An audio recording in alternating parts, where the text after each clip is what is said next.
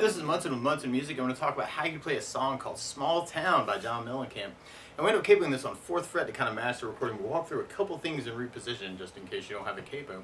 And we start off with our main uh, intro progression. And actually we'll hear kind of this background lick to this where you play the open G twice and then second fret on the G, open G, second fret on the G, and then open G.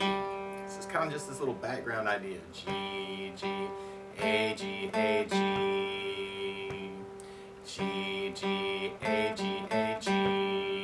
And randomly there's another lick that comes to mind on this where, where you could play open A as kind of a hammer on the second fret and then open D. Actually, it's kind of an a, a D idea actually through the tune. So G, G, A, G, A, G, A, B, D,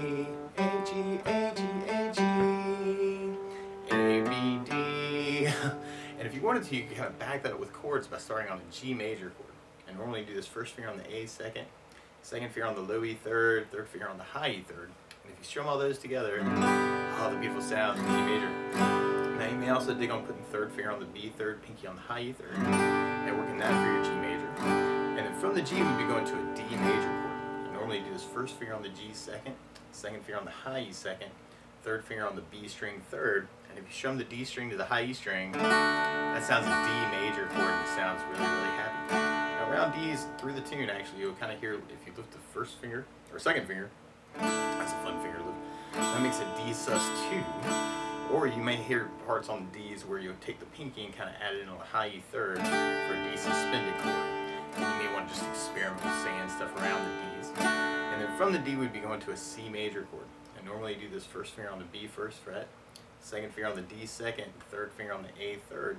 And if you strum the A string to the high E string, that sounds a C major chord and it sounds really happy. Now around C's in general, it can be cool to lift the first finger and make that a C major seven. We're adding in the pinky on the B third for the C major nine, kind of say some stuff around that chord. Or another way to play C major nine is to do first finger on the D second, second finger on the A third, third finger on the B third, pinky on the high E third. Kind of strum all those together. It's another possibility for the C. Definitely on the last verse, actually, you'll kind of hear where you could take that C major nine and lift off the pinky. And you'll hear this cool little arpeggio lick there on the C chord where you play open E, second on the B, and then, or, wow, third finger on the third fret on the B, and then open G. It's kind of this little C idea, kind of through the tune, actually. And then from the C, we'd be going back to our D major chord. So you kind of have that G,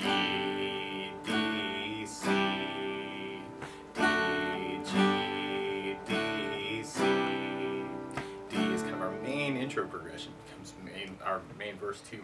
Now you may also want to back that up with downs, and there are definitely places through the tune where you'll kind of hear a lot of downs actually, especially for build-ups, actually on the last Ds.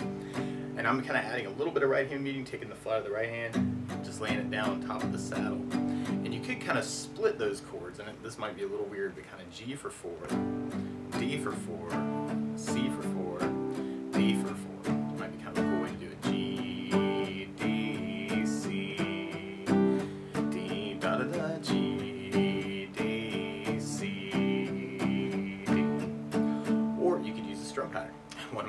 strum patterns for a 4-4 like this is down, down, up, up, down, up. So do the G and just try that a lot. Yeah, down, down, up,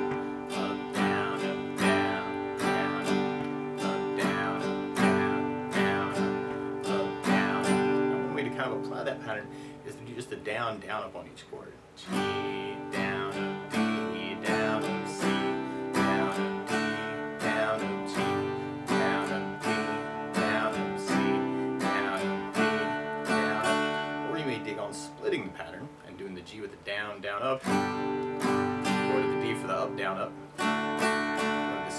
down, going to the D for the up, down. So G down, down, D up, down, up, C, down, D up, down, G, down, D up, down, up, C, down, D up, down. Sometimes I'll get excited and want things to happen early. And so another thing to practice is doing the G with a down, down,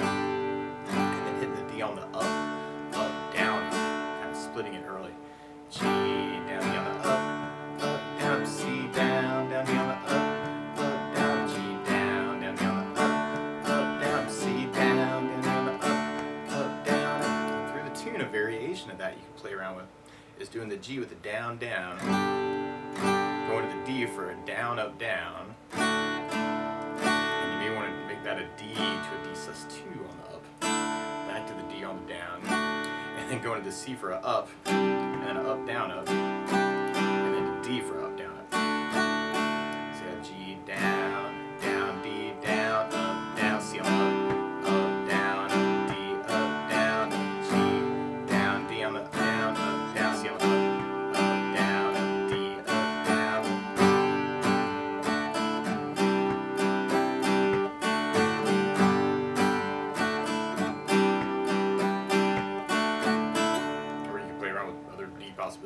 And then from that intro, then we'd be going into our main verse. Our main verse, we repeat that idea twice. And then the last time, I actually, we kind of have our C, D, D, C, D. D, but then we go to a C for our whole pattern. And then we go to an A minor. I normally do this first finger on the B first fret, second finger on the D second, third finger on the G second. Strum all those together, that sounds an A minor chord. It sounds so sad. Um, now you may also dig on lifting off the first finger and making that an A sus two, or adding in the pinky on the B third for an A suspended chord, kind of say some stuff around that chord. Or you may dig on lifting the third finger, making an A minor seven, or adding in the pinky on the high E third for an A minor seven. Or if you're digging on this C major nine voicing, you may want to use an A7 sus, doing first finger on the D second, second finger on the G second, third finger on the B third, pinky on the high E third, kind of working out for the A. And then from the A minor, we kind of do our whole pattern, and then we go to our D for our whole pattern. So through that whole verse, you got G,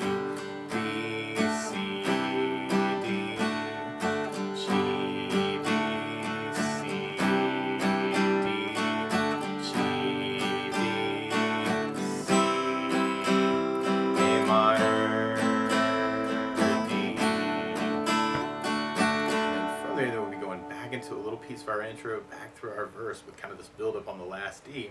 And then we go into a really quick uh, verse, chorus, or um, tag where we kind of half our C and our G, and then more C and G,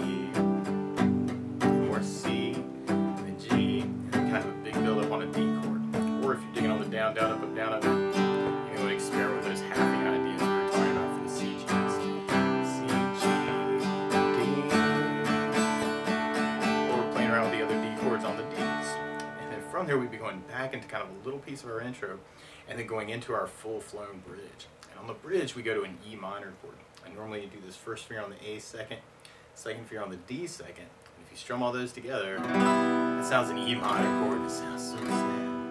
Um, now you may also dig on putting third finger on the B third, pinky on the high E third, working that for your E minor seven for your E, e chords. And you'll definitely hear this cool little melody on that where you play the open G twice, fourth fret on the D twice, second fret on the D, open D, and then we go open G, and then first fret on the B, open G, and then we almost kind of start that lick over again. That open G, fourth fret on the D, second fret on the D, open D, and then second on the D. But then you kind of hear that little hammer-on idea, that O two hammer on on the A, and then open D, and then we almost kind of start that lick again, kind of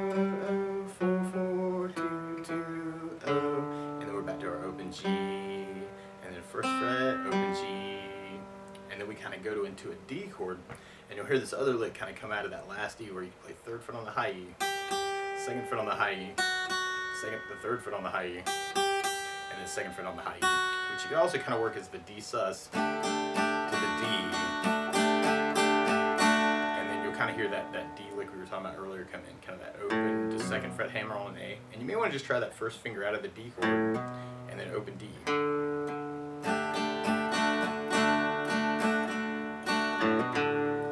out as kind of a lick around those last Ds. And then from there, then we'll be going into our, our last verse and kind of into our intro for our outro. Now the weird part is to play along with, with, with John, instead of starting on a G major chord, he's starting on a B major chord. So to play along with the recording, what you want to do is take a capo, and if you put the capo on fourth fret, then now your G is really a B, and your D is really an F sharp major, and your C is really an E major, and your A minor is really a C sharp minor, E minor is really a G sharp minor. But to take it from the very beginning, you may want to work it around that lick, kind of that O, and then that D idea. Which can be cool. Or you could kind of work it with the chord, and you could kind of do the down idea, kind of G, D, C, D, G, D, C, D. Or you could use the down, down, up, kind of on each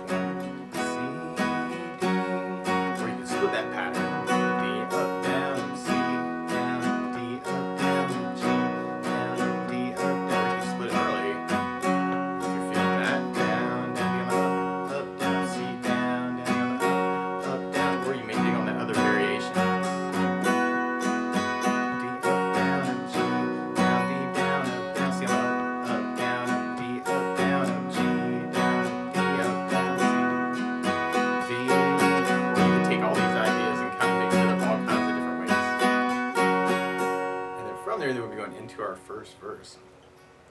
D, C,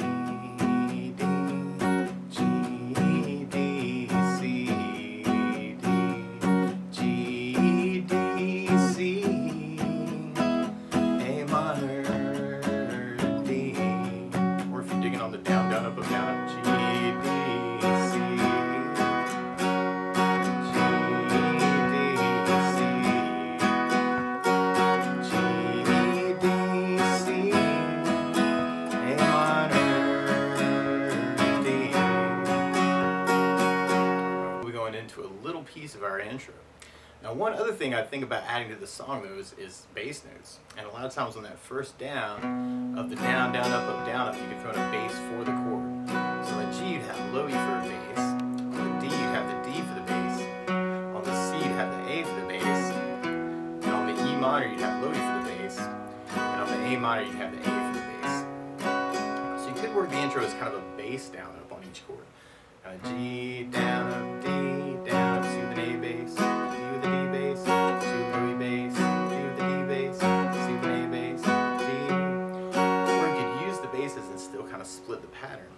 G bass, down D up, down, C the bass, down D up, down, G the E bass, down D up, down, C an A bass. Or you could even use that with the variation and make it kind of a bass, down, down, up, down, C up, up, down, up, D, up, down, G, bass, down. You can kind of dig on that. And then from there, then we'll be going into our next verse. So we tried that with basses. We have a G,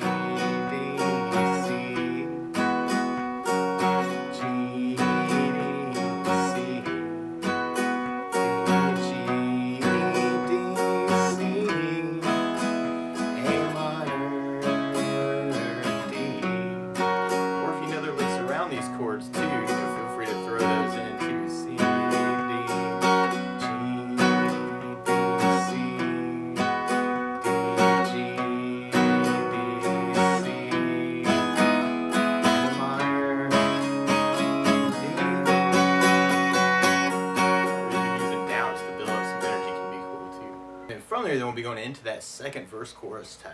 So we got kind of our C, G,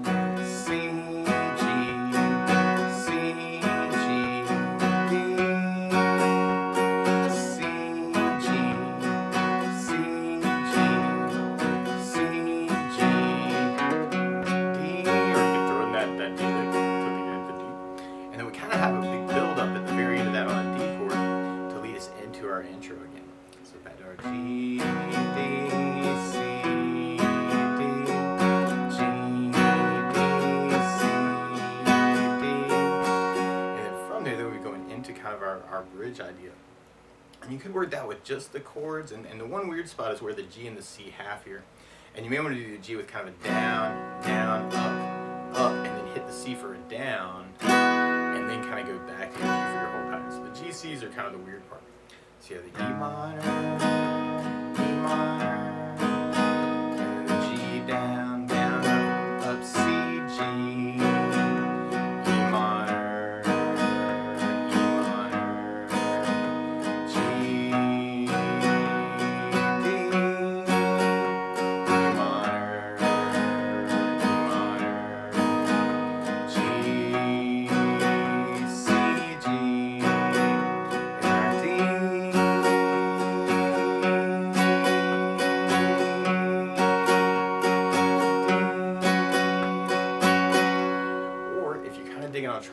those licks actually around the E minor. You can almost kind of work down a, a, down idea and kind of try and bring out that open G and then kind of make a move to that D string fourth fret. Ah, E minor nine in a really cool way. Um, and then you have kind of that E minor and then lifting off the, the second finger instead of E minor seven. So, so you may want to kind of try and follow those licks on the E minor.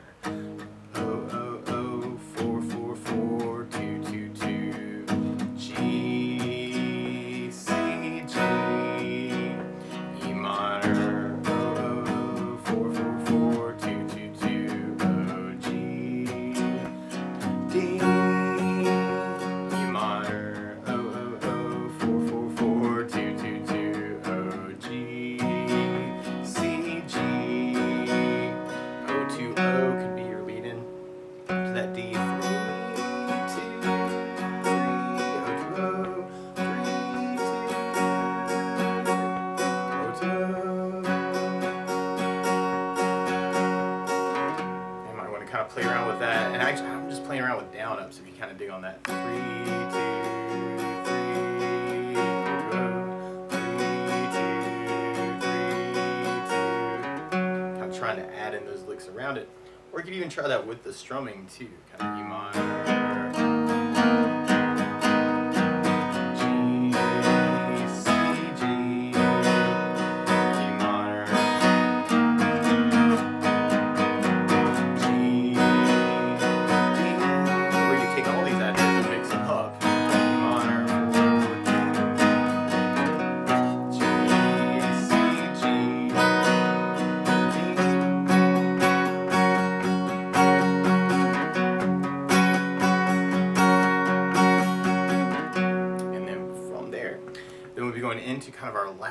verse idea. It starts out instrumental, um, but you kind of have that GD idea that we've been doing for our verses, but then you'll kind of hear this little lick where you play open E, third on the B, open G, kind of come in around the C chord. And what you may want to do actually is instead of working in that last D like the verses is on that last verse, just kind of riding out on the C major nine.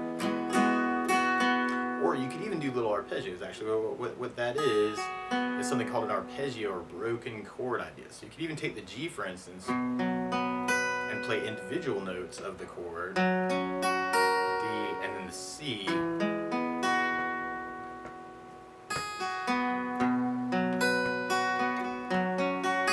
Or you could work licks around that. Might be kind of a cool way to kind of work it too.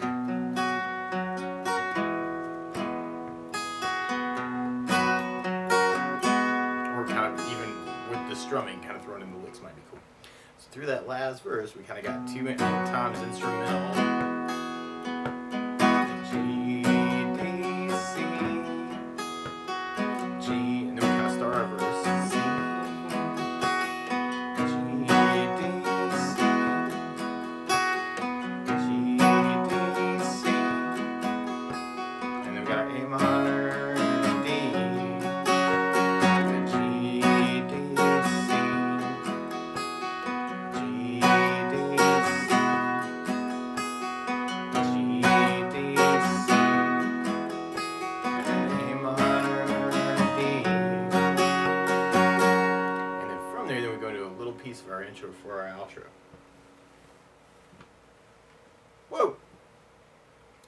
And then from there, then we go into a little piece of our intro for our outro. So G, D, C.